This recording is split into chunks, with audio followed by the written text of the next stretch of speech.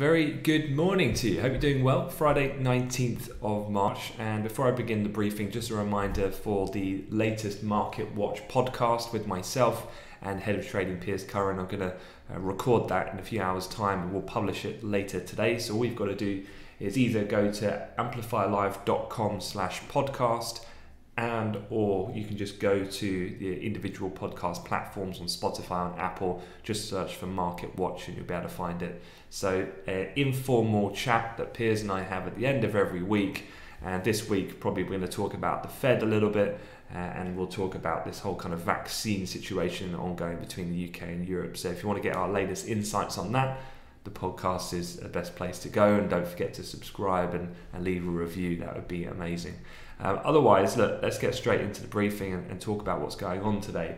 And really, yesterday was, was an interesting one. Um, we did say on Wednesday, after the initial reaction to the FOMC, we obviously saw um, a kind of dovish response in the sense that equities move higher, dollar weakened considerably, which helped support the major pairs. But if you look at where the major pairs are trading now, top left corner, euro dollar is completely kind of scratched from where we are or where we were prior to the Fed announcement coming out. So basically flat, Xing out that, that pop that we saw.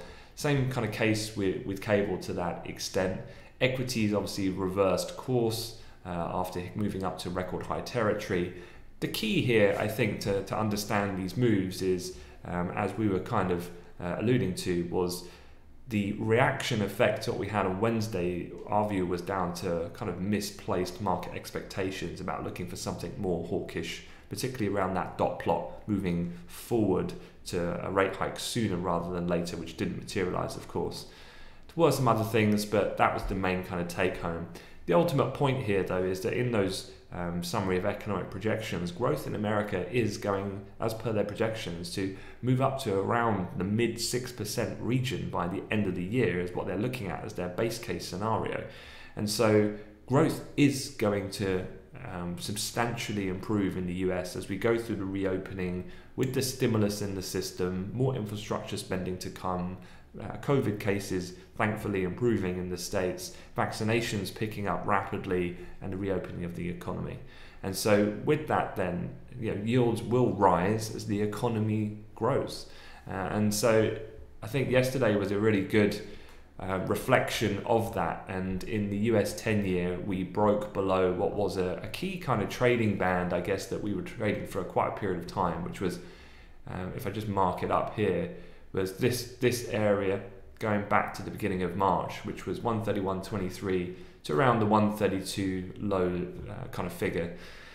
And we broke out through that um, really more forcefully uh, in the session uh, two days ago. We bounced back through there though on the, the release of the Fed, but then yesterday we broke the lower bound of that and we actually saw the US 10 year yield move above 1.75% for a fleeting period of time, which was a 14 month high uh, before kind of retreating back to around 1.72%.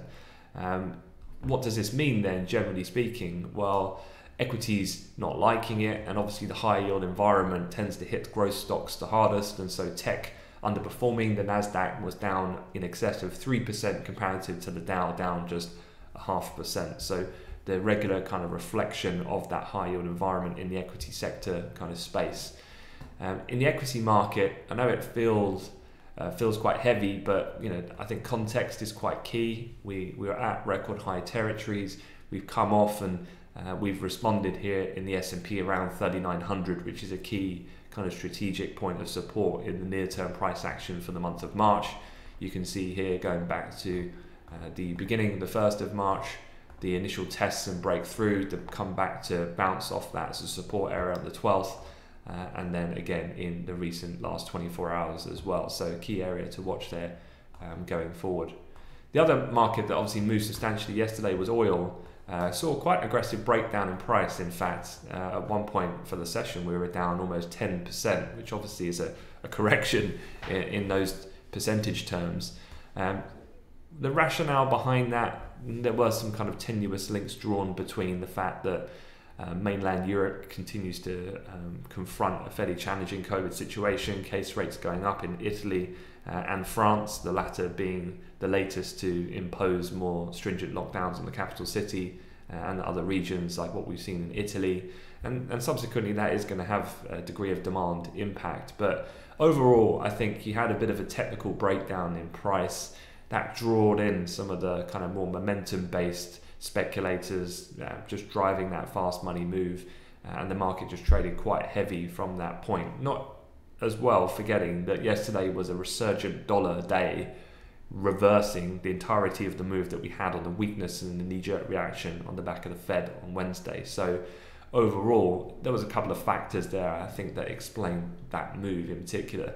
Uh, if you look at the daily chart, um, I always think you know perspective on a higher time frame is quite key, and you know, we look how far we've rallied since November. I mean, this is an incredible move. So look, quickly look at this on percentage terms, going from the low that we printed on the 2nd of November. You know, we have rallied 102%. I, I might add, in terms of the price to the high that we've seen just a short while ago. So to come off and now trade down 11% after a 100 plus percent rally, I don't think is, is, is, is too much cause for concern at this point.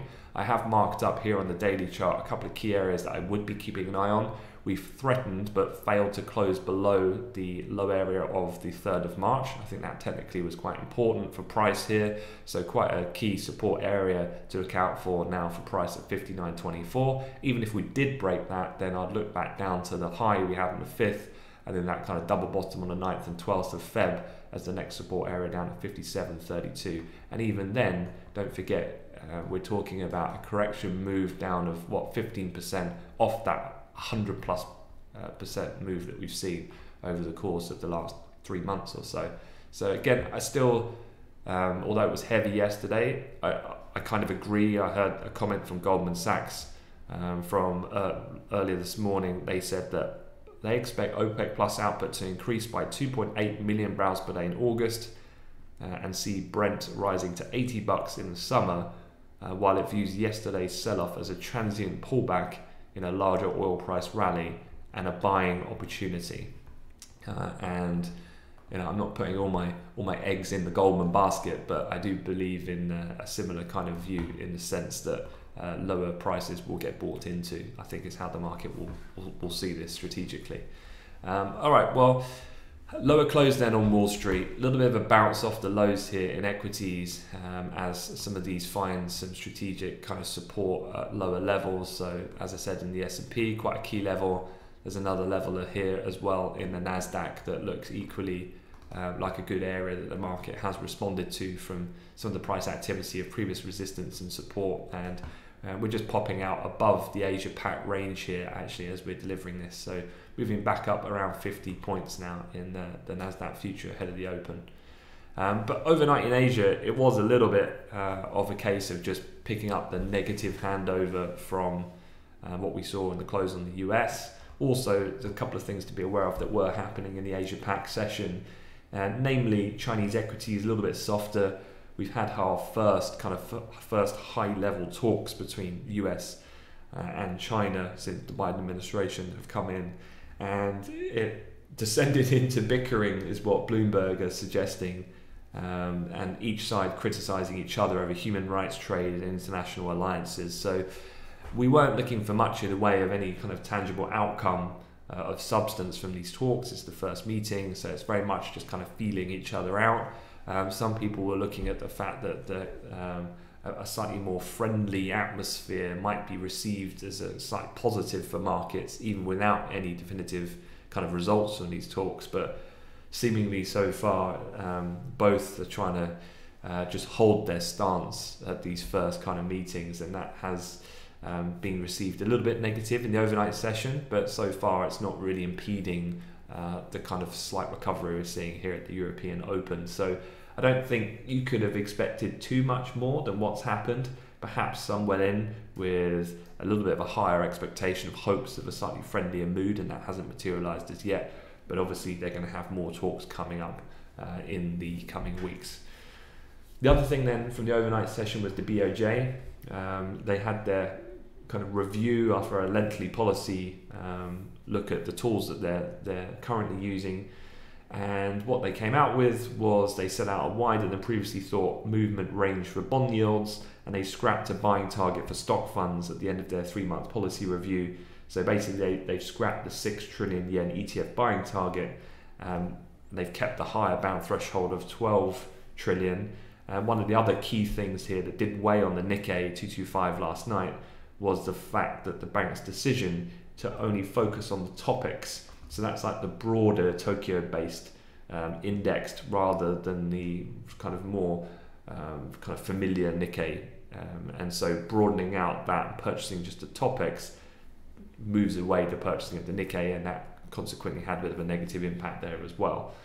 Um, so all in all, as we were kind of suggesting at the very beginning of the week when we are looking at the whole uh, kind of events to be aware of for the week ahead, um, the BOJ definitely a bit of a domestic impact there. The yen, not really too much of a great deal of movement. Again, still with the the greenback kind of dictating proceedings for much of the G10 kind of currencies at the moment. Um, so I wouldn't really look at the BOJ as something that's going to really impact the UK, European, US assets that we're trading this morning. Um, talking of um, vaccines, just a brief update. There's been a lot of uh, drama, of course, about uh, rising political tension between Europe and the UK uh, in regard to, to vaccines, particularly on the, uh, the Astra drug. But uh, following the EMA kind of announcement yesterday, Germany, France, Spain, Italy have all going to reverse course, and they've said that um, now that that EMA investigation is concluded and the vaccine was not associated with the potential risk of blood clots, uh, adding that the benefits in the shot outweigh any possible risks, they're all going to recommence that uh, the usage of that vaccine.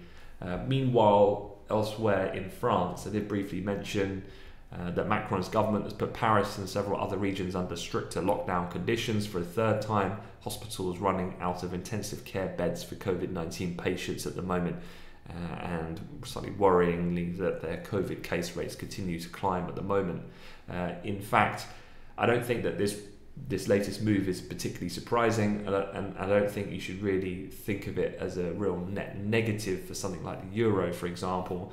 And the reason for that is is that it's not really a surprise. If you've been tracking the daily infection rates of new COVID cases in France, they have risen to 30,000 nationally in recent days, and that is up more than 20% in a week. So on the point of the the actuality of COVID cases worsening, it's almost inevitable that the government's got to take some kind of kind of action to uh, try and control in the particular hotspots. Um, and then also, it's been fairly well telegraphed in the press that this was going to happen. Um, so, all in all, what does that mean for France specifically? Well, the new restrictions, according to analysts, are expected, or according to the finance ministry, in fact, in France, are expected to knock off around 0.2 percentage points from French GDP its annual economic output. Uh, the monthly cost of compensating furloughed workers and closed businesses is also going to rise up to around 7.2 billion, uh, which is just over a billion more than what they previously were expecting in the government forecast. Um, so that's the latest there. And then the final thing I wanted to mention was um, the calendar today. It is pretty quiet. There's not really anything major coming out. Um, you've got CAD retail sales, but everything else is kind of a, a bit of a side point, quite frankly. And so, with a quiet calendar, the other thing to be mindful of is this which is quadruple witching, so specifically relevant for equity traders. What is quadruple witching? Well, just to refresh you uh, and your memory, uh, if you are relatively new to markets, then it refers to the date at which derivatives of stock index futures, stock index options, stock options, single stock futures all expire simultaneously.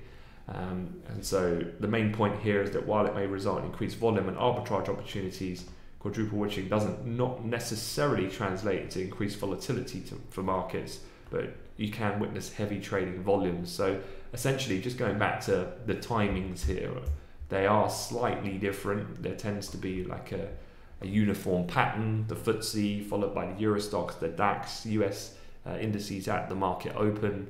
Uh, and then the CAC Quarante later on in the afternoon. So it's just about around the times of expirations to be aware of those if you are trading those particular products. Um, but that is it. So from a technical point of view, I'll let the guys come on on Amplify live stream uh, shortly and they can run through the charts as they see it. Uh, don't forget to check out the, the podcast as well. A brand new episode coming out in just an hour or so's time. All right, guys, have a good session ahead and have a fantastic weekend. Take care.